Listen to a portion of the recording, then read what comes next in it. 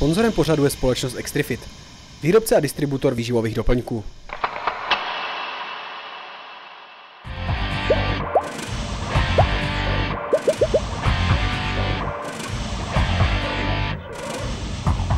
Před cílově vytrvalostním tréninkem je důležité doplnit zdroj aminokyselin. My používáme od firmy Extrifit Aminogel. Před tréninkem nám aminokyseliny pomáhají k nárůstu svalové hmoty a dále slouží jako zdroj energie. Po tréninku jsou vhodné k antikatabolizaci svalstva.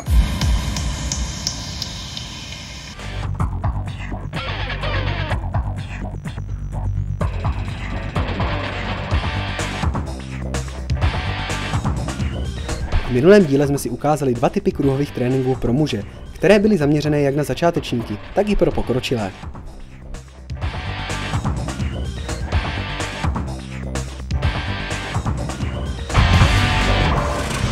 Zdravím všechny diváky České internetové televize. V dnešním díle nás čeká cyklistický výšlap na hrad Helštín. Čeká nás celkem cca 50 km, tak se pojďme podívat, jak si Klaudie s Petrem povedou.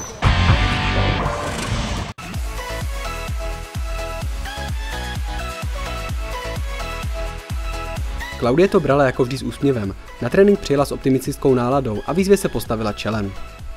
Petr přijel jako profesionální cyklista a tak vypadal i jeho výkon. Celou dobu nám udával tempo, které bylo poměrně dynamické.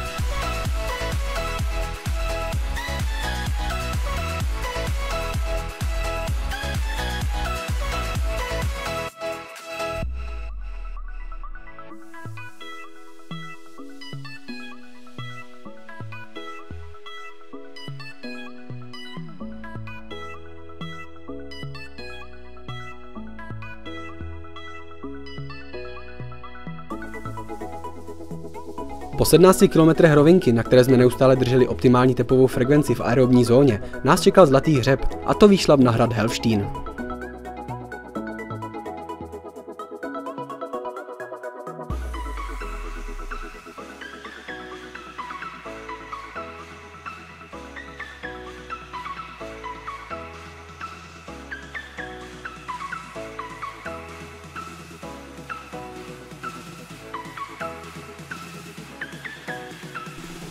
Zde již skončila sranda a začalo výživné stoupání v délce zhruba 3 kilometrů.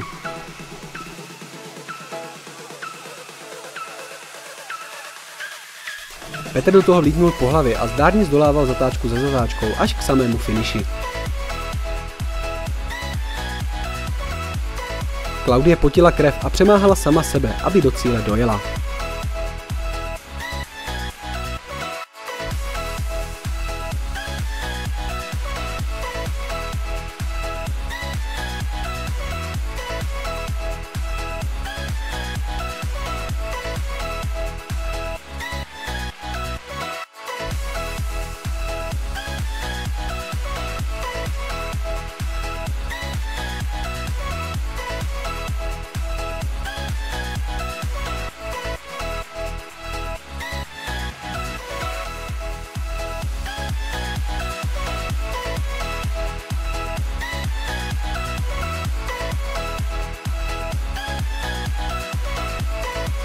Petr se s kopcem porval a zdolal výšla bez větších problémů.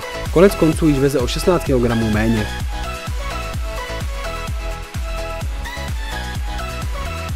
Klaudie se snažila, ale kopec prozatím zvítězil.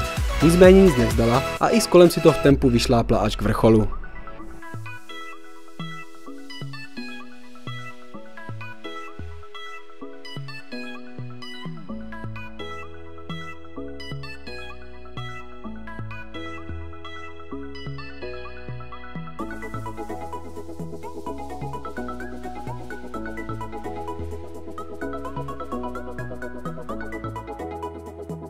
Po krátkém odpočinku a pozitivní motivaci nás už čekal zasloužený sjezd a rovina až domů.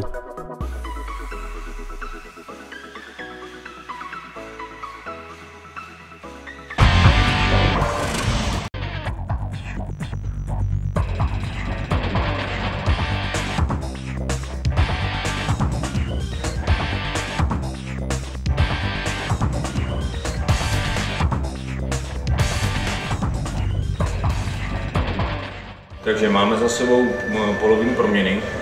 Peťa začínal na váze nějakých 126,6 kg. Když jsme s tím pořadem začínali, nyní máme za sebou měsíc a půl tréninku, kdy se mu intenzivně věnujeme a Peťa dodržuje předepsanou stravu a jídelníček a podařilo se mu zhubnout na 111,1 kg, takže zhodil 15,5 kg za měsíc a půl. Peťo, zeptáme se tě, jak třeba se teďka cítíš momentálně, když jsi o 15,5 kg lehčí? Momentálně jsou nevyspaný, ale, ale jinak se cítím dobře. A co se týká toho jídelníčku, pořád to zvládá dodržovat?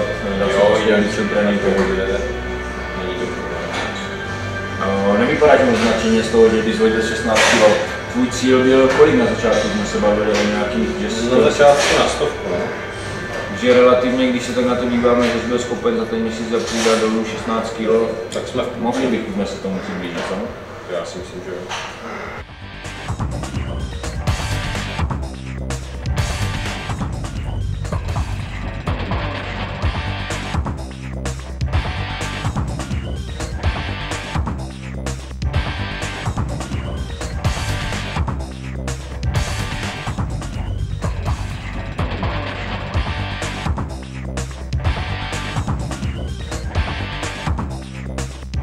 Máme tady výsledky Klaudie po měsíci a půl v novém zdravějším režimu, ve kterém dodržuje redukční jídelníček a snaží se pravidelně hýbat, a to především formou aerobních aktivit, při kterých dodržuje správnou tepovou frekvenci.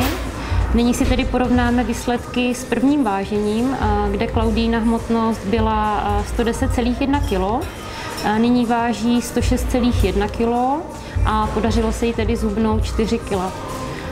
Co je na tom velmi pozitivní je to, že všechna zredukovaná kila jsou v podobě tukové tkáně a na svalu došlo k zanedbatelnému úbytku 0,1 kg.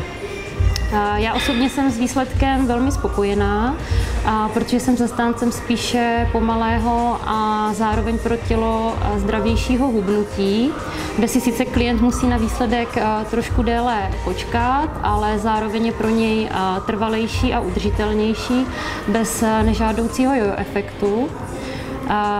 Zároveň vím, že Klaudie měla menší krizi. Sama mi to otevřeně řekla, že si od toho režimu na chviličku odpočinula, a to jak od jídla, tak od pohybu. A v tomto období se teda nezhublo, ale ani nenabralo, což je super.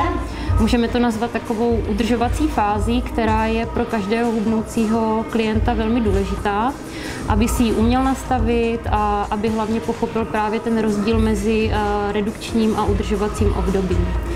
No, potom Klaudie chytla druhý dech, zase začala na sobě makat a podařilo se jí zubnout další 1,5 kg tuku. Chytla jsem druhý dech, mám další kilo a půl tuku dolů, za což jsem ráda, ale samozřejmě chci dál pokračovat zdravým hubnutím, aby mi to vydrželo co nejdéle, aby se mi to nevrátilo.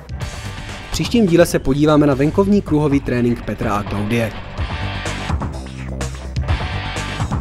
Takže nás sledujte dál prostřednictvím Facebooku nebo kanálu YouTube Přerovské internetové televize. Těšíme se v dalším díle na viděnou.